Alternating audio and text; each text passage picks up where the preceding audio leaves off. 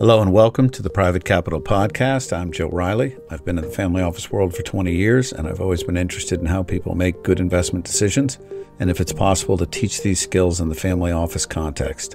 This podcast speaks to investment and business thought leaders, as well as founders and experts in the investment world, to hear their great stories and insights.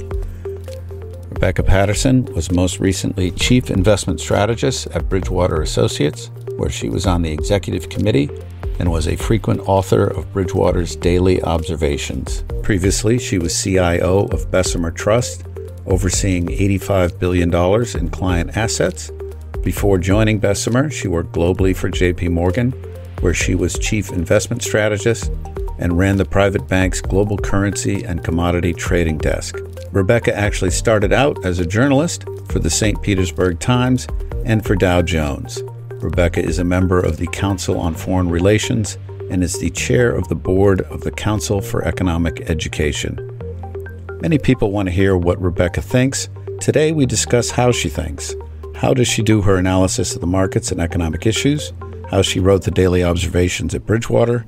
How her experience in journalism taught her to rapidly assimilate data and opinion to form a coherent and useful narrative. Please enjoy my engaging conversation with Rebecca Patterson. This podcast is for educational and entertainment purposes only. Anything said by the guests or host should not be construed as legal or investment advice. Thanks for listening. I always start with someone's background. Okay. I was born in St. Louis, Missouri, but we moved to Florida when I was about three months old. My father worked at the University of Florida doing PR for the university. And then when I was maybe four or five, he and my mom decided to move to the St. Pete Clearwater area where my grandparents were to be closer to them. And they started a small PR firm in a garage next to our house. So I grew up in Florida and I was born and raised a University of Florida Gator. It was great. I I could go to the beach several days a week after school. It was a 5-minute bike ride from my house. Learned how to sail. I did synchronized swimming growing up, which Christine Lagarde and I have that in common. Okay. I'm sure you talk about it a lot. And studied journalism? But I didn't know what I wanted to study. And my parents had both been journalists. And on a whim, I decided to take a journalism class, and it was this aha moment.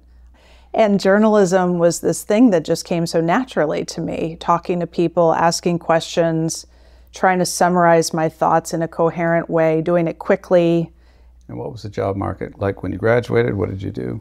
So I graduated in 1990 and I had a Rotary Club scholarship, which allowed you to spend a year doing graduate work overseas. But you had to go to a country that wasn't your native language. And I had studied French and a little German growing up. I had never been overseas. We grew up pretty simply. Our summer vacations were usually in the car going north to look at Civil War battlefields. And I thought that was grand. It was awesome. It was fun. I learned a lot about American history. But I wanted to go to France. And I had never been to France. And I thought, well, I shouldn't go to Paris because they'll all speak English there.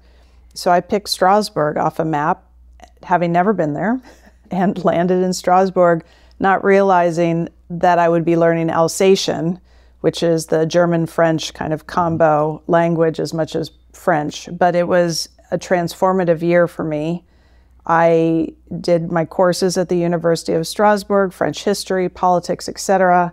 I got what they call a stage, an internship at the Council of Europe, which was my introduction to all things European bureaucracy. I'm an intern and I get to have beautiful lunches with wine every day, these fabulous field trips. We went to Berlin right after the wall fell and got tours and we're bungee jumping around the wall and it was well budgeted, let's put it that way. But it was a good education about the European system. And I got to travel quite a bit around Europe in my little deux chevaux when I had free time. And it was also important for me as an American because I would go to these club meetings and the gentlemen in the club, lovely hosts, but they would tease me about being blonde Becky from Florida and I must eat McDonald's every day and so forth. And so it was it was uh, it showed me how people can perceive people from other countries and generalize. And I decided I'm going to prove them wrong. So every piece of food that I had never heard of or seen before they put in front of me, I ate with gusto. And any adventure they would suggest to me, I would do it. And any experience, yep, I'm game. But I wanted to show them that Americans can be as global and open minded and break the stereotypes, just as I think sometimes in America we hold stereotypes about others. So it was an amazing experience. But after that, I realized I wanted to do something more global. I didn't want to stay in Florida the rest of my life as much as I, I loved growing up there. So when I got back, I got a job with my hometown paper, the St. Petersburg Times, in Washington. And I was the kid in the office. I cleaned the fax machine. That's when we had those. But I had a boss, Paul Tash, who probably the best boss I've ever had, who gave me enough rope to hang myself. And I would go on the Hill and have to track down senators and representatives and interview them. And the first story I ever did was Clarence Thomas, and Anita Hill. Welcome to Washington. And it was just an amazing way to see firsthand how the sausage is made. And you realize the importance of politics and policy. Could you talk a little bit about the influence of the St. Petersburg Times back then? Yeah, the St. Pete Times is no longer independent, but it was one of the last independent American newspapers and won dozens and dozens of Pulitzers over the years for their reporting, which was just incredibly high quality. So it was it was an honor to work there. As a kid, basically fresh out of school, it was a big deal to be there. And I still stay in touch with there was also a great woman there named Eileen Shanahan who had been one of the first women journalists, not at the St. Pete Times, another paper to get off the society pages. And I'll never forget when I joined, and this was 1991. She said, You are no longer Becky, you are Rebecca. You are going to tone down the hair and you're going to get more conservative clothes. And initially, I was so offended. Who is this person to tell me how to dress and what to call myself? And she was doing me such a huge favor because to be taken seriously on the Hill, to be able to have conversations with senior government officials to get them to talk to you, I couldn't look 22. It wasn't going to fly. And, and so it's something I remember now when I see young people, especially young women, just getting into their careers. It's always a difficult, sensitive conversation. But if you can handle it well, I think you can help them. You want, you want to be remembered for who you are, how you think, what you say, not how you look. How would you approach that now? easier for a woman to have a conversation with another woman, I'm guessing. And probably even saying that today is sensitive. And I think just saying that, you want people to think of you for who you are, not how you look. Period, full stop. And so if you're doing something, wearing something, behaving in a way that's going to be distracting, that doesn't do you a favor. And it doesn't mean you shouldn't be authentic to who you are, and that's just reality. How did you get your head around the hill? How did you? I'm sure it must have influenced your later interest in policy, but I think sometimes the hill can be a bit of a shock the first time you're. Oh, definitely. Yeah. I mean, what actually goes on? Going to hearings, and I would be the only woman in the room, and the members of Congress looking to the press would say, okay, gentlemen. I thought, hey, hello. So there was that. I worked after St. Pete Times while I was in grad school for another publication called Congressional Quarterly. They had me write bios back in the day, and you realize these are very accomplished people, and I should respect what they've been able to do and respect their public service. At the same time, they're flawed humans. Lots of background information that I'm sure a lot of people wouldn't be very proud of.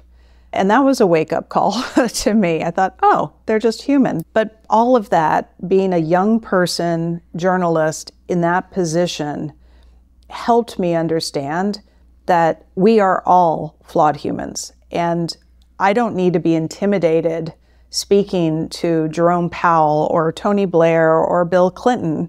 I should respect everything they've done and their position but at the end of the day, they're just people. So it's okay to have a conversation with them. And I worry that today, with so much social media, so many people focused on a screen, not interacting, that they're losing that ability. and it could it, it could hurt people from having really great relationships or asking good questions from people who've accomplished a lot. What was your biggest challenge in journalism? What do you feel like you overcame personally? Yeah. I mean, there was just so much I had to learn. When I finished grad school, and I can talk about grad school if you like later, but the first job I had after grad school was with Dow Jones. And the first six months for training, they put you on a night editing desk. And you edit copy that comes in. And then when you're sure it's clean and factually correct, it goes out on the news wires and gets disseminated around the world. And I literally had to get a map of Asia and color code the countries. And I wrote the capitals in big bold letters with a Sharpie and stuck it up with tape in front of my computer because even though I thought I had a very good education, understanding global geography, global politics, global economics, it's just not something I had learned deeply at that point. And, and so I had to teach myself. That was humbling. And it gave me a really good appreciation about how much there is for everyone to know and how connected the world is. We, again, we talk about deglobalization, fragmentation today whether we like it or not, we're irrevocably interlinked. And yeah, you need to understand where Jakarta is and what's going on in Indonesia versus Malaysia. Most people don't appreciate that Malaysia is an absolutely critical part of the supply chain for semiconductors. People think about Taiwan, of course, but Malaysia also has a really big role. This tiny little country, I think most Americans, especially in their early 20s, couldn't find on a map. And yet you need to understand what's going there because it affects something that's going to allow you to power up your computer, drive your car, turn on your home. So that was, again, like going to France for this first time, getting that initial training in journalism, making me realize how much I didn't know and how humble I needed to be to figure it out. And I'm really grateful for that. How is what you do like journalism and how is it unlike journalism? Journalism is my secret weapon because I learned to think critically. I learned to filter out news from noise. I learned how to communicate my thoughts concisely and quickly and think on my feet. And I think that serves me extremely well. As a journalist, you're constantly trying to understand the world. Your job is to learn and educate. What a gift. And as an investor, your job is to learn and invest and educate, right? Educate to the degree you're talking to clients or publishing, but you can't invest until you learn. And so the learning pro- process as a journalist is not that different from an investor, except being an investor, it's usually significantly more quantitative. So, for example, Tony Blair's election. I covered his election and what did this mean? What did this new set of politics and this different approach mean for the UK economy? And what does that mean for UK asset prices? I would go to Brussels frequently for what they call ECOFIN meetings, the meetings of the finance and economic ministers as they were trying to figure out what the euro should look like, what monetary union would look like. And that was another one in terms of just training your brain. I since I spoke French and a little Italian, they sent me to cover the French and Italian press conferences. Now, this is before the euro. So we had French francs and Italian lira and German Deutschmarks. And so I would be sitting there listening to this finance minister talking about their debt GDP ratio and new fiscal programs and talking about millions of lira. And I have my big brick phone on my ear. Maybe it wasn't a brick at that point, it was probably a Nokia, but it was still, it didn't fold, it was large and I would have an editor in London listening. So I would be listening to the press conference, translating in my head lira to dollars, praying I did it well, and then also translating Italian to English in terms of what is the main thing he's saying? What's the story? And then narrating that to the editor who's typing it into a computer because we didn't have little cute laptops back then. And then they would put it out on the wire. But thinking on your feet like that how lucky am I that I had to do that? Because now if I'm on live television or I'm getting Q&A and at an event with an important audience, I've done it for so many years, it just comes second nature to me. It's not scary. So you had a policy interest, but what about what really sparked your interest in investing? Oh, currencies. I'm a complete currency geek. I think currencies are the intersection of everything. You think about the currency market, and they always tr- they trade in pairs, so it's always relative, right? Is the U.S. economy stronger than Europe's? what's the US trade balance versus Europe's? What kind of capital flows are going in and out of the two countries? What are interest rates going to do in the two places? And then you have to put on top of that investor psychology, and you have to put on top of that geopolitical risk. And so you have to be constantly weighing these things across countries and then with a global overlay and a sentiment overlay, and it's changing real time. So it's like a game of chess that's never ending, and you're always trying to figure it out. You never master it. And that was the first thing I had to do at the journal. And it was hard, but it was so interesting to me because it took the politics, the policy, the economics, all of it together. And if you wanted to be good at currencies, you needed to understand everything else because the dollar you know, in the last year or so, part of it has been strong because the US was raising rates faster than other countries, that made the yield on US assets more attractive than other assets. But part of it is that the US economy was just stronger than other economies. We have a greater weighting in our stock indices on tech companies that had great cash balances, that were buying back shares. They were attractive. And so foreign capital was coming here for that. And that net flow of capital to the US, whether it's for bonds, for certain types of stocks, for whatever, private equity, was supporting the dollar, even though we had a current account deficit, which means we need capital inflows to offset the dollars we're selling to buy foreign goods. But just understanding how those things come together helps you understand equity markets. It helps you understand bond markets. You have to understand monetary policy. So, learning about currencies helped me start learning about all the other asset classes. It's like you found your way in. Yeah. And I guess I should say, how did I get in? Right. So it was fun. I'm an accidental banker.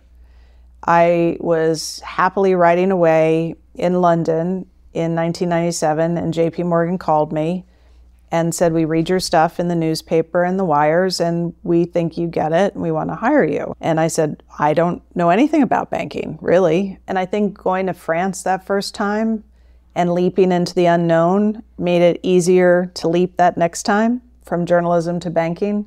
So I joined, and I joined in September 1997. Okay. There were a few things going on. So I landed in the middle of the Asian currency, and I was doing currency and I'm sorry, commodity September research. 97 in oh, London oh, or in yeah, New York? in London. In, In London. London, okay. So I had to cover. I covered currency markets and precious metals. So I had to come up with forecasts and I was diving into the deep end. I didn't know how to properly run regressions. I didn't know my way around Excel terribly well yet. And then the markets were in turmoil. I was working six, seven days a week, very long hours, because I needed to get up the curve as fast as I could. But it was fascinating, it was exhilarating. And I, as a journalist, you have to ask questions. So you learn to be humble. So I would just say to my colleagues, Can you teach me this. I need to understand how to do this. And people were lovely and taught me. So I figured it out. So my job was to produce forecasts. Okay. So I had to tell you is the yen going up and down? When do you start buying the Russian ruble? When do you stop selling the Indonesian rupiah? And so it would be in the case of the Indonesian rupiah or the Asian currencies, it was understanding the IMF agreements to bail out these countries to get to prevent them from running out of reserves. It was understanding when things would get so cheap that exports would start kicking in. And in the case of the euro, it was fun. It was my first model, which I only helped on the sidelines with. It wasn't mine per se yet, but we were starting to build models back then these were really early days, not that sophisticated. But in this case, we were trying to predict where the European currencies would join the euro because they all had to converge with the Deutschmark at certain rates. And so you could trade these currencies on whether they were rich or cheap versus where you thought they'd converge. And that became a very popular trade in the late 90s, ahead of the start of euro on January 1st, 1999. So we built a model based on the convergence criteria and what was going on that told you how to trade them, and it, it worked pretty well. It was fun. The second model we built was risk appetite. And then we built another one on economic surprises. And those latter two models still exist today. So we clearly did something okay. Let's dig into that a little because I'd be interested in how strategy has changed over time and how JP Morgan put strategy together then and how it evolved while you were there. Yeah, again, back then research websites were just getting going. I think we had our first research website maybe in 1998 or 99, probably 98. And so we all had to learn how to program enough that we could put our research onto the website. There wasn't a whole department that did that initially. Did that? Oh yeah, I was in the research department, but it was we were vertically integrated. I researched, I wrote my research, I formatted my charts, I put everything into something at the time called PageMaker. Sure. And then we would code it and get it up on the website. Yeah. So this was the very early days of that. And I'll never forget to tell you how early it was when I first I moved to Singapore with JP Morgan in early 1999 and I was seeing a central bank in the region, leaving names out, and I was there to show them JP Morgan's cool research website and I got there and I brought my laptop and I brought some some decks with me. And I said, okay, it's probably better if I can get on your computer and show you how to log in. They didn't actually have the internet in their office yet. They didn't realize you needed this connection to the internet to actually access these things called websites. I'll never forget that. I said, It's okay. It's okay. I can show you what it'll look like once you get going. And so I pulled up screenshots on my computer and we worked through it. And then we followed up quickly and made sure that they got hooked up. But that's how early days it was. Not everyone had it, and some thought they had it, which is interesting. But research, we would have regular calls to talk about what was going on in the world and our views and hash that out. I think that's still true today. How did you hash it out? How do you come up with consensus internally? At the end of the day, one person makes a final decision. And I think that's uh, different banks have different approaches and different firms have different approaches. JP Morgan back then would have a house view. And if you were if you didn't agree with it and you got overruled, which happens, then when you were talking to a client about a view, you would just say, okay, our house view is this, and here's the rationale for it. Personally, I think if it's not correct, it's because this and this may play out differently. And so you could stick to the house view, but lay out different possible scenarios, and that was fine. How did they come up with the house view? Lively internal debates where, after everyone got their thoughts out, the top of the department would make a final call. I think that's largely still the case today. Someone has to make a call. At the end of the day, someone's got to own the view. And so, what was your career there like? I got to do a tour of duty so started in London, moved to Singapore in 1999, and by then I was just getting the hang of Europe. I spoke French, Italian, a little German. I got my European currencies. And then I got to Asia, and I'll never forget the first forecast I put out, the first trade idea I had was with the Philippine peso. And I didn't appreciate the differences or the magnitude of the differences. So in the Philippines, remittance flows, people working overseas and sending money home, is a big capital flow that affects their currency. But it's not a big capital flow for most European countries. A little bit in Turkey, but in the major European countries, not at all. And so I wasn't putting enough weight on that variable, and my call was completely wrong because of that. And so it was very embarrassing, but it was also a great lesson learned that there are differences around the world. Now, back then in the 90s, you didn't have, again, the democratization of data and information that we have today. So there was actually an information advantage being there, being on the ground, talking to the policymakers in person, going to the large companies, seeing what their business was doing, talking to consumers, getting an idea of sentiment. And you could take that information and share it with colleagues in New York or London and they would have an advantage. Today, it's the world is flat. You can get not quite all of it, but a lot more of it instantaneously on the online, which which makes it a harder game in some ways. You don't have an advantage just from being on the ground, or a smaller one anyway. But it was great being there, and I'm so grateful for it. And so, what was your transition like from JP Morgan to Bessemer? So I moved back to the States from Singapore in 2002, and I had continued along at JP Morgan, gone back to school to get an MBA part time and do some more econometrics and finance, which was useful. And then Mary Erdoes and I met, and she said, Why don't you come over to the private bank and run a trading desk for me? And again, it was one of those, okay, leap into the unknown. I had spent 10 years at that point telling people where markets were going and telling them what to do. And here was a chance to actually own the risk. And so I thought, yeah, let's do that. Of course, just like starting JP Morgan in 97, I started doing this in 2008. So was running a global currency and commodity trading desk for the private bank in the middle of some pretty incredible volatility. And what was great about that is I realized how much I loved it.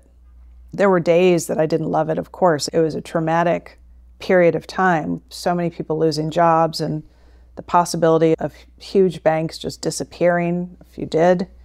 And at the same time, the opportunity to help clients through it was important, communicating daily with them, sometimes multiple times a day. And then when you got into 2009, some of the opportunities, they were once in a lifetime trades.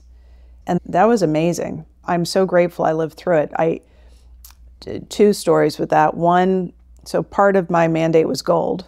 And you can imagine in 08, 09, different people calling and saying, I need gold coins delivered to my house now. And, uh, and if I could tell you, I can't, who called me, I either thought, okay, I should be much more scared because these people must know something, or they shouldn't be in the seats they're in if they're that scared because they're panicking rather than doing what they need to do. But it was it, it, i'll never forget it. And then in 2009 at one point oil prices were down i think we were down like $15 a barrel. And i just thought gosh oil has intrinsic value. It can't go much lower for very long. And at this point the fed had already been cutting rates. Opec was adding or sorry cutting production to try to support the market and so we thought how do we take advantage of this and at the time the oil market had what they call very negative carry. So people expected the prices to bounce. So to break even, you needed the price to go at least to what was already priced in. And then to make money, it had to go beyond that. So that's when I started thinking about I don't want to do a trade in oil. I want to do a trade in things correlated with oil that have a positive carry, a positive interest rate. And that started leading me to thinking about what's the best way to express a view. You shouldn't limit yourself to a single asset class if you have a strong view, what's the optimal way to express it? It's not always the direct way. So, in that case, you could buy a basket of oil related currencies whose underlying economies export a lot of oil, for example, Canadian dollar, Norwegian crown, stuff like that.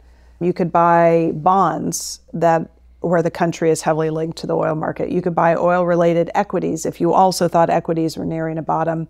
You could buy a basket of differentiated assets all tied to oil, which in aggregate gave you more diversification, correlation to oil, and a positive carry. So there were, it was a great moment because it opened my eyes to everything that's possible when you're investing, which probably helped me later on at Bridgewater and certainly at Bessemer.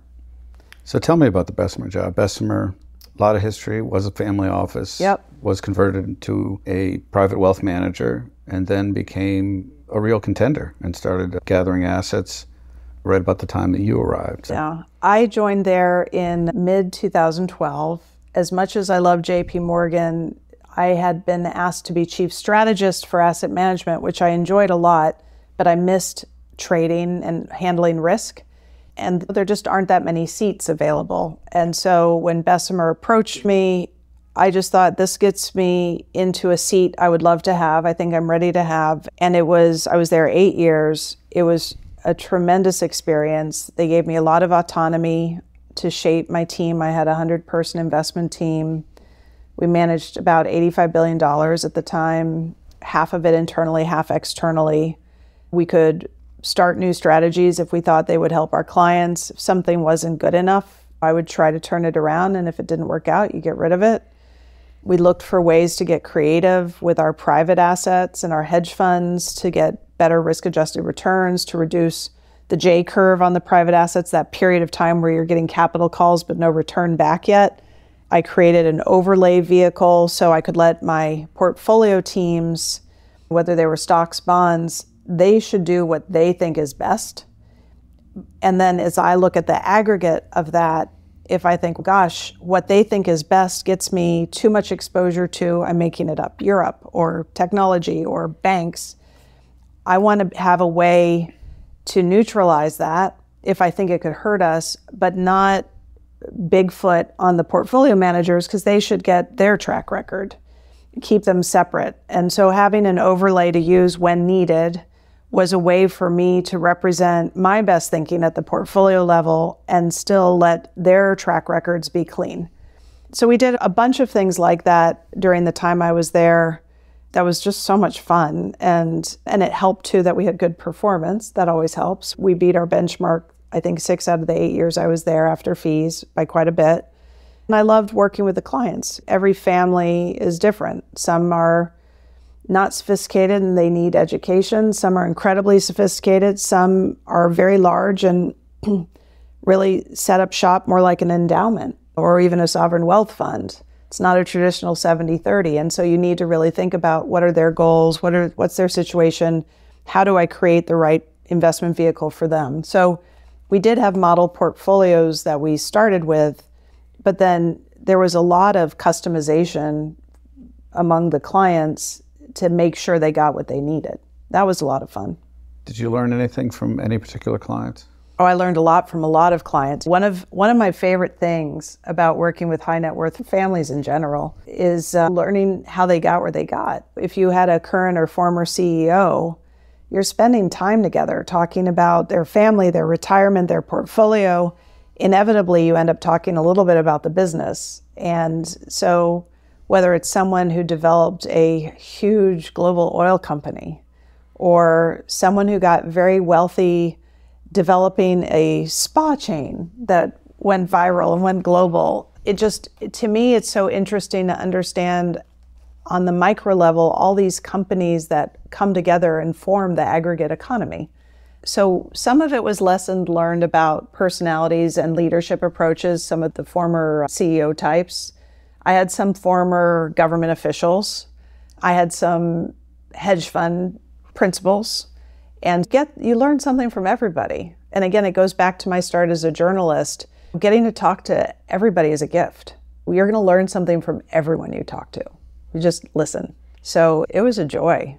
And you also learn about their challenges. I don't want to say poor little rich kid, making sure that money gets passed through generations in a good way and that you're able to leave whatever your family's values are. That can be really hard for some families. And so trying to help them through that too. Being CIO, of a firm like Bessemer has parallels to family office, single family office CIO. What's a good way to think about putting your team together, coming up with your strategy? In the sense, a mm-hmm. lot of mm-hmm. folks have limited resources when they're talking about a single family office. Uh, that was going to be my first point. I think you just hit the nail on the head. What's your goal? First, what's your goal? What are you building this for? Don't do it for ego. Don't do it for stature. Why are you doing it? And what's the goal? and then build out the staff or the resources you need to reach the goal accordingly, but don't do more than you need to. I think one thing I saw frequently were people who built pretty complex family offices and then they'd get older and their kids didn't want to have to deal with it and then they'd have to unwind it all. So I think building a family office is fine, it's great, but know why you're doing it. Be confident that you need to go down that road rather than using a multifamily office or a combination of resources outside to do it. Finding a lot of people want a family office so they can do more direct illiquid investments, for example. How many people do you need to do that? How good are they going to be? Are you going to be able to pay them what they need to be paid to work for you versus going to work at a private equity shop? Do you want to spend that much money? Are they going to actually see the deal flow if they're just sitting by themselves in your family office rather than being in a bigger ecosystem? I'm not saying it can't be done. I see it done all the time, but there are definite challenges to it, which again gets me to be very crisp on what you need and why you're doing it. How would you contrast your process at Bessemer versus JP Morgan? And maybe the cultures as well. Sure. JP Morgan's private bank is very large, and there are a lot of different types of clients, both level of wealth, level of sophistication goals. Some of them are build me a great portfolio that I know will be fine, and I'm just going to check in once a quarter when I get a statement. There are others who say, I want great trade ideas whenever you see something, and they're active traders, and a part of their portfolio is set aside for that. So JP Morgan has the breadth and depth that it can do a great job covering all sorts of different types of families and entities. Bessemer is a smaller shop, although not small, and is not trying to be your, I'm going to give you five trades a week firm. That's not what they're good at. That's not what they do. What they're trying to do is say, we're going to be your one stop shop for your portfolio, your trust and estate advice, your tax advice, your philanthropic advice, anything your family needs. And we're going to wrap all that up effectively into one fee. We're going to keep it super simple for you and have a high number of relationship people covering each family so they really know that family in depth. So they're just, they're very different business models. And I think both of them have a role to play out there. It depends what the person who is lucky enough to have the wealth is trying to do. You need to pick who's going to manage your money depending on what your goals are. If you just want to have I want market exposure. I want to keep it cheap. I'm not going to try to beat the market. I just want to get it invested wisely and let it go. You can do that with a handful of ETFs. You don't need to pay anyone anything. But some so what people, are you paying for? ETFs, I think, have a role in pretty much every portfolio. If you are getting beta, if you're just getting market exposure, and I can get an ETF for two basis points and get US large cap stocks or global stocks for a couple basis points or liquid US bonds, that could be a good piece of my portfolio. It's cheap, it's liquid, it gets me my exposure. But if I'm paying a fee to someone, I want to do better than just get the market return. If you're yes. paying a fee, you want to get more than market exposure. So you want someone who is going to be able to find managers that can find opportunities and get you alpha, get you something better than the market, or you're going to want something unique that's going to get you a diversification for your portfolio that'll reduce the risk of your portfolio. That's also something worth paying for. You want someone who's going to be able to see the business cycle, the market cycle, be able to time, at least generally, when to get in and out. That's worth a fee. If you find someone who can bring you some combination of those things, the diversification, the market timing, the alpha or excess return, I'm fine paying a fee for that, but then you better deliver it. So, a bit of a specific question, but it comes up a lot now since there's been so much growth in the RIA space, so many mergers, so many big firms. Is how does a firm like Bessemer, how do some of these big RIAs compete for talent? Different firms are going to have different things that make them attractive to different people. I know that's a horribly generic answer most of these people want to get paid. That's table stakes. But then there's also different cultures. There's going to be different approaches to work from home, work from anywhere versus be in the office. There's going to be some people who want to do the five trade ideas a week, and some people who prefer being the steward of that family's capital. So I think a firm like Bessemer has a certain culture.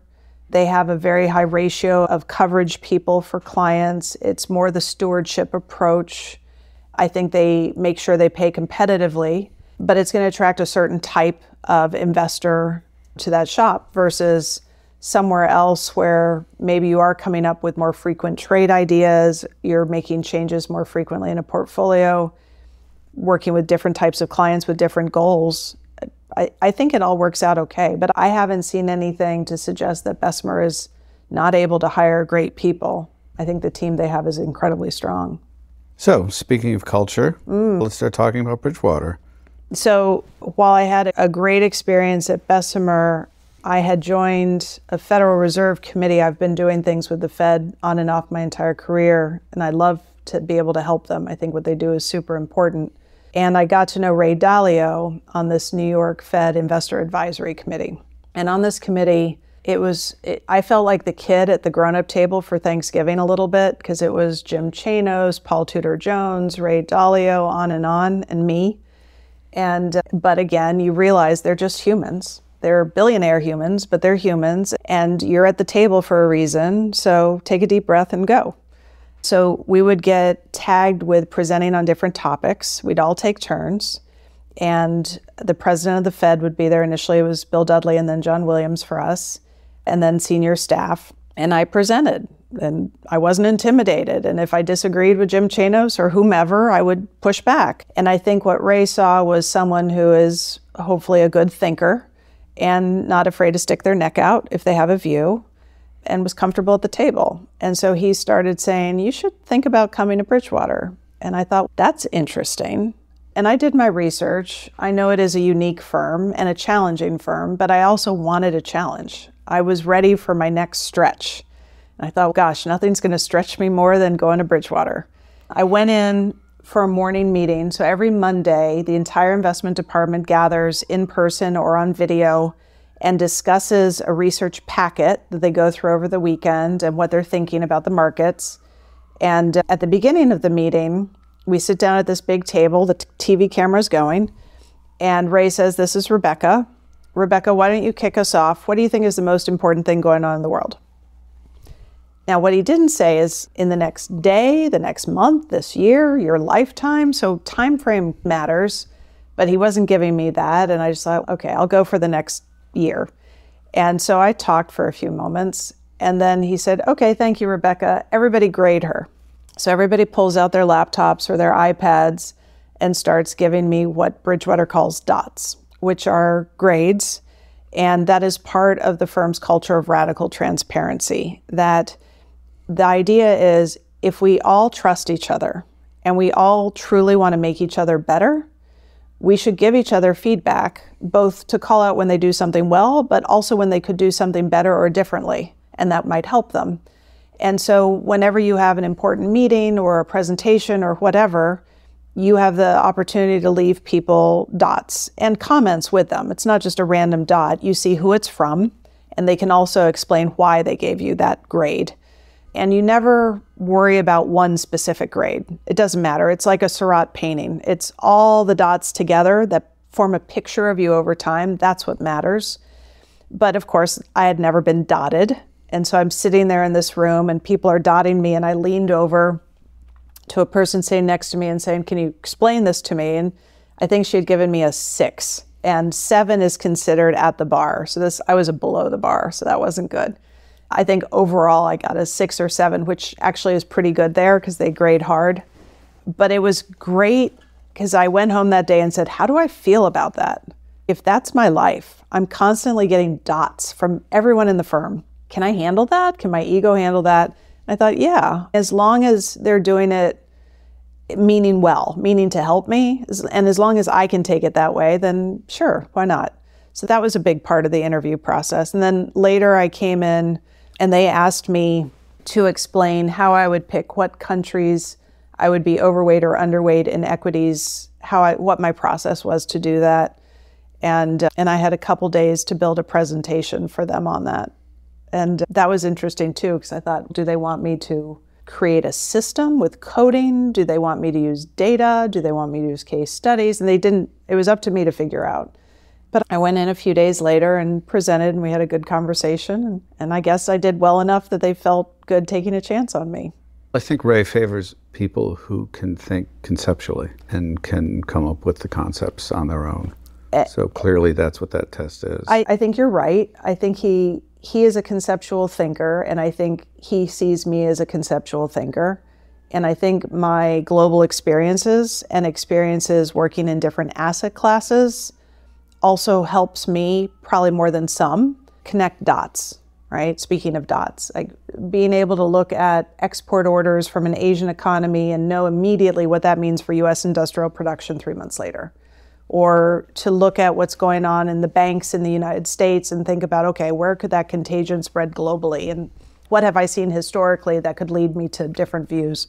And I think he saw that in me as well. But it was, yeah, it wasn't as scary as some people make it sound to be, frankly. is very systematic, but they mm-hmm. also take a great interest in the macro and having an opinion on the macro. Is that something that is debated in house, or is it something that is developed because it's part of great client service. I guess what I'm asking is Bridgewater looking for a kind of single truth?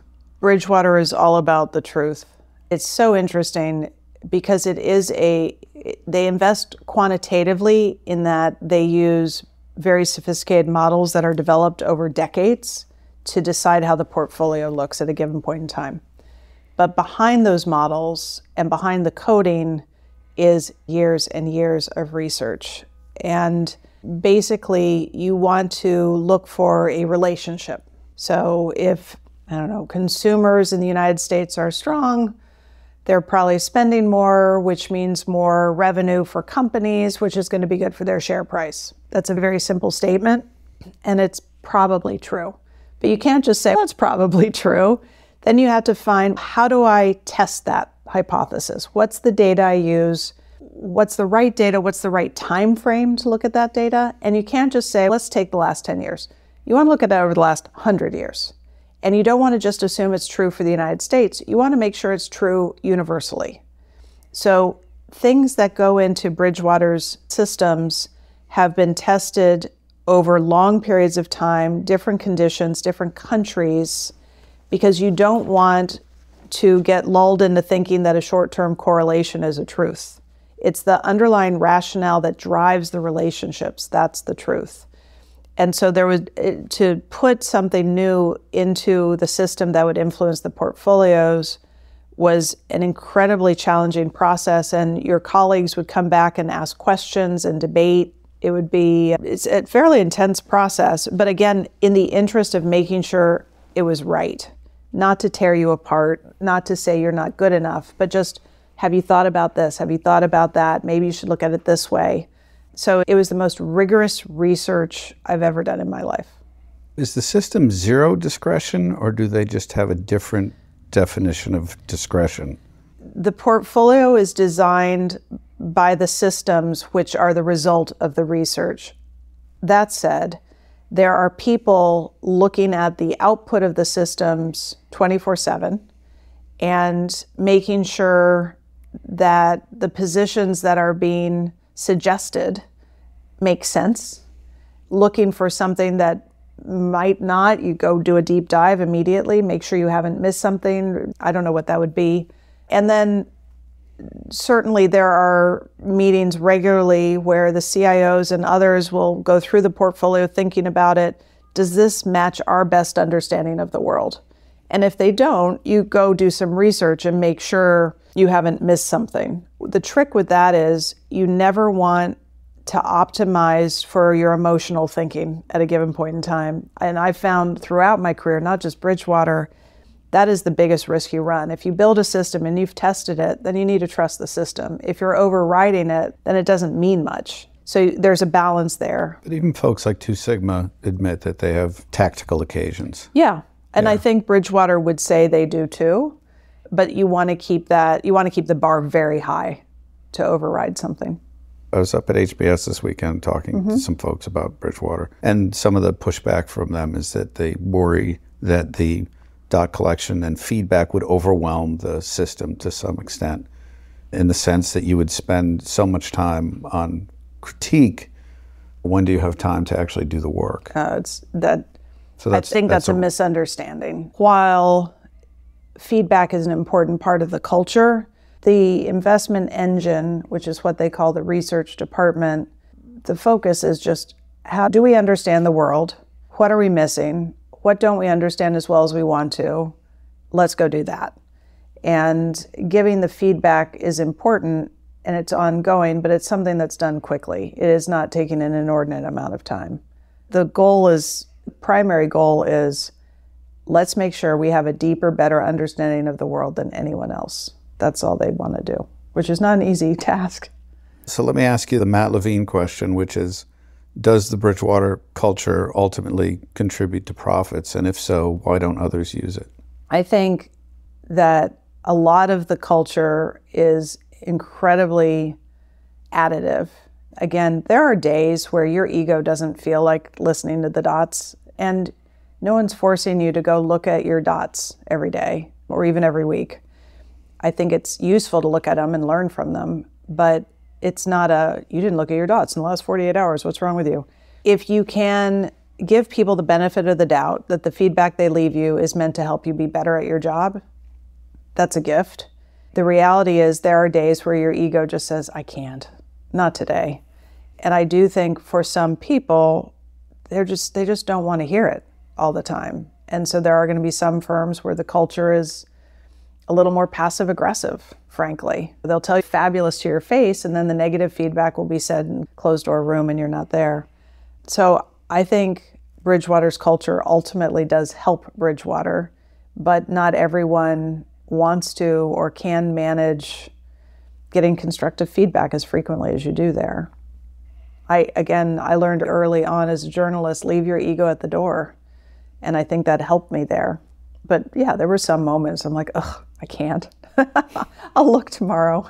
Now, Bridgewater is supposed to be an iterative versus most other firms on the street, which are top down. Do you think that's accurate? I think it's a, I mean, my own personal view is it's a mix. Certainly, you need leadership to set the direction of the firm. Someone needs to be accountable and say, we're going to march this direction. But you hopefully get lots of feedback from people who are talking to the clients every day or building the systems or doing the trading or whatever. And I do think that the culture there with the constant feedback helps that, right? So the feedback goes up as well as down. And so if a decision is being made in the executive committee to go march in a certain direction, there will be plenty of opportunity for people at different levels of the firm to say, that's an interesting idea, but have you thought about X? And maybe they have and maybe they haven't. But that kind of feedback and the questioning is encouraged. And I think at the margin it is useful. And I think most firms try to do that. I don't know how many are really effective at it. So I think net it was a positive thing. This isn't specific to Bridgewater, but mm-hmm. how do you think firms should handle the founder problem? And the reason I bring it up is because we've got some major firms right now. We have Renaissance, we have Tudor, we have Berkshire, we mm-hmm. have Bridgewater, all of these Carlyle. firms. Carlyle. Yeah, there's a bunch. Founder transitions are really tough. Ray announced he was going to transition out over a decade ago, and it's really just now happened. I, I applaud David McCormick, the former CEO, and Nir Bar Dea, the current CEO, and others for ensuring they got through it because it's not easy. People who found companies, it's their baby, it's their ego, it's their life. It's hard to let go. And I'm not saying that specifically about Bridgewater, I'm just speaking generally. And at Bessemer, I dealt with lots of founders and lots of CEOs in that position. And th- their, their whole self worth was wrapped up in that. And so letting it go can be so hard. It's a dangerous time for a company. And I think it can be in general a very distracting time for a company because they're spending so much time on ensuring a smooth transition rather than worrying about the day-to-day business. And so the more smoothly and effectively can they get through it the better off for the company the employees the clients. I think bridgewater's now gotten to the other side. It'll be interesting with some of these other firms you mentioned with the transitions going on how quickly and smoothly they get to the other side. Did you ultimately find that the bridgewater process clarified your thinking I reflect now on my three years at Bridgewater, and I think I am a better researcher for the experience. What in particular? So it's like working with a bunch of five year olds who say, Why? I have teenage girls now, so they don't do that anymore. But back in the day, Mommy, why? And the research process was similar. I would say, Of course, if the Fed does this, yields will do that. Why, Rebecca? What is the justification for that? Have you tested it? You go test it, come back. Yeah, but why? And so you had to go deep and deep. You can't be a lazy researcher. You have to be incredibly deep. You have to think about all the ways you might be wrong, and even then, what am I missing? And I think what that does is it reduces the risk you're wrong. It doesn't mean you won't be wrong, but you've spent more time thinking about all the different permutations and angles of a question and it increases the likelihood you're right. And in investing, every point you get right matters, right? Most successful investors are right 52% of the time. If you're super lucky, maybe 55, maybe a little higher. So getting each of those answers right adds a lot. And I think that's what I got out of being there. So here's a specific question I think a lot of folks would be fascinated by this is how are the daily observations written?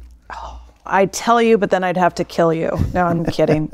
I don't think they would mind me sharing. at JP Morgan, when I first started writing research, we had dailies, weeklies, monthlies, quarterlies. And so I was used to doing and writing research.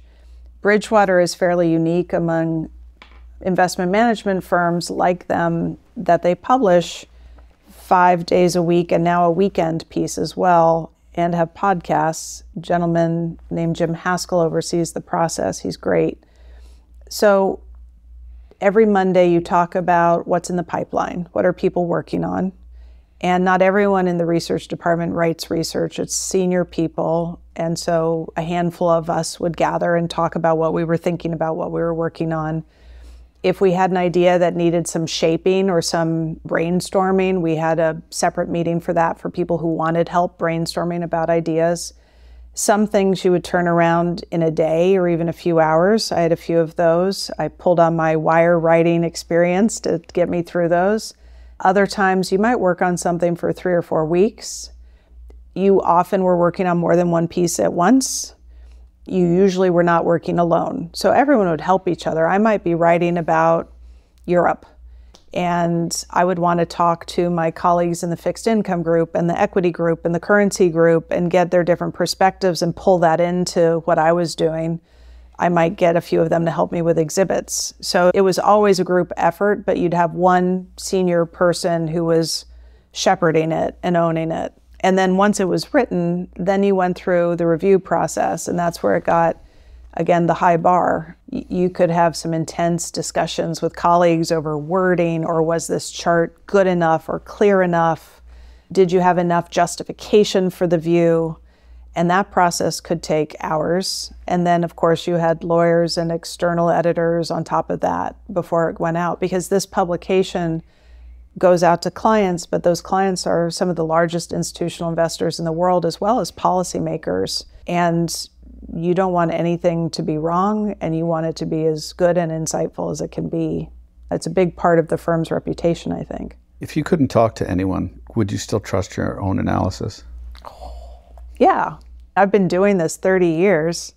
So I would hope by now, if I have a Bloomberg terminal and an internet connection, I can't talk to anyone. I, if I couldn't even read, if I could only look at data, I think I could still form a view. And this is something I did recently. I, I, went to grad school the first time to Johns Hopkins, to SAIS, and I had the opportunity to teach a class there recently to international finance students, and it was so fun.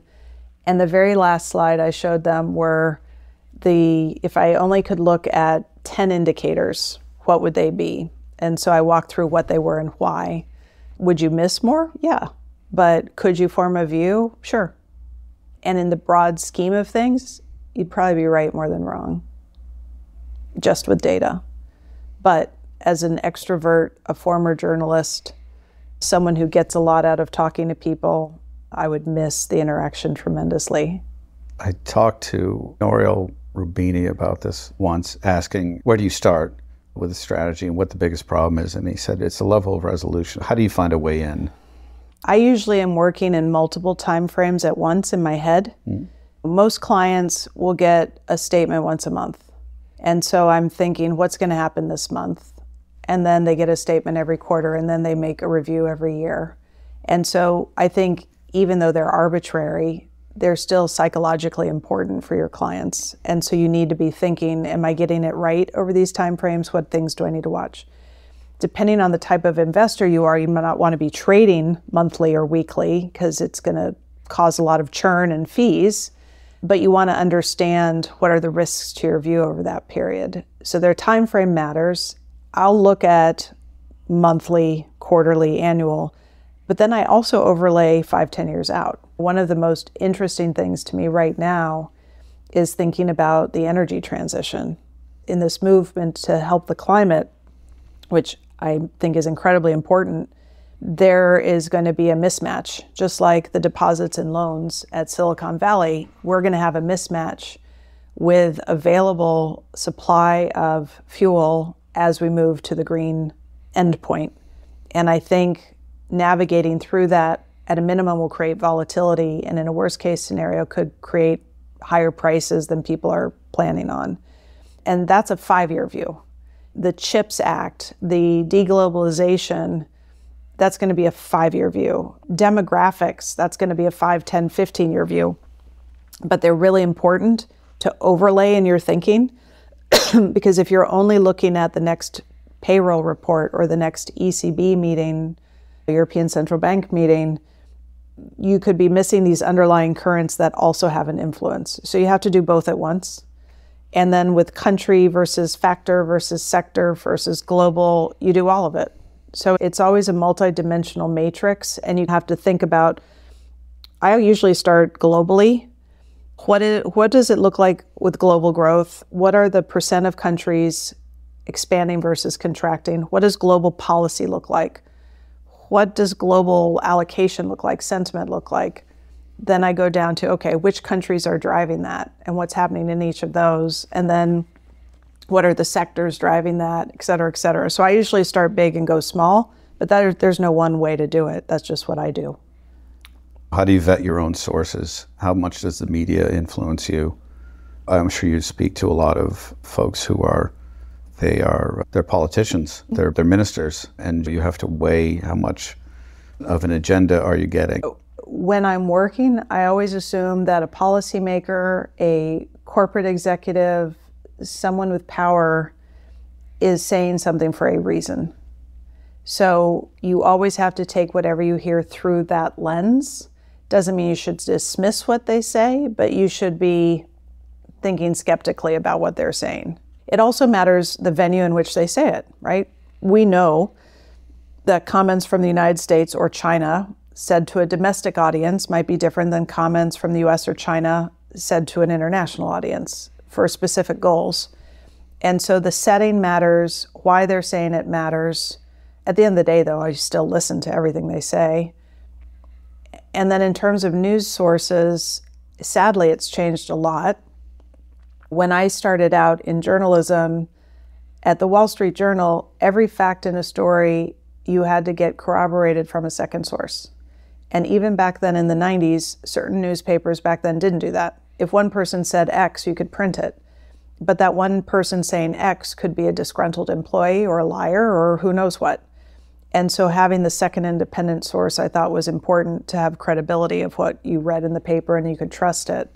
So I learned early on to know the differences between the styles and the legal approaches of different newspapers, and that shaped who I read. And then you have to know the political considerations behind the different outlets. Spending time in Europe early in my career, in Europe, it was very normal that you would have a newspaper for the left party and a newspaper for the right party. In Italy, every major political party had its own TV channel. Now, this was decades before Fox and MSNBC. So now here, we're getting used to it. It's been like that for decades in Europe. but understanding if I listen to the communist channel in Italy versus the the capitalist channel, I'm going to get different versions of the news. So I was I learned early on how to listen to news that way and take it with a grain of salt depending on where I was getting it. And in the states you have to do that too now. What kind of advice would you give to a CIO about the kind of weight to to give something like Twitter? I'm not on Twitter, so that's how much weight I give it. I think there are incredibly smart, credible people who tweet, but I think the need for me to read a tweet from fill in the blank person instantly versus see it on their website a day or two later or hear them say it in a speech a day or two later, I'm not trading like that.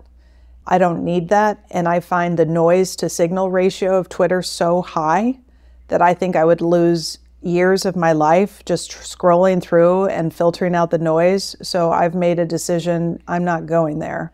And I'm sure I am missing some useful content, but to me, it is not worth the price. If you were hiring a good CIO, what would you look for? I would want to know how they manage risk. So I would want to hear about some crisis they've lived through and how they managed through that, whatever their job was at the time, whether they were managing money or managing research or whatever. How do they deal when the stuff hits the fan? Because if their job is to be a steward of your capital, that's the thing that's that you can't afford to make a mistake on. So that would be the first thing I'd look at. I would want to make sure their personality fit mine to the degree that we had shared values. I would want to make sure there's someone who's going to be able to hire good people to the degree they need to, and that people How are. do you ascertain their values? I always ask people when I interview them after we get through the resume and what are you thinking about the markets today? I ask everyone and I tell them up front. I say, I always ask everyone this. So this isn't you, this isn't personal. What are you reading right now? If you're not reading something, what are a couple books you've read recently?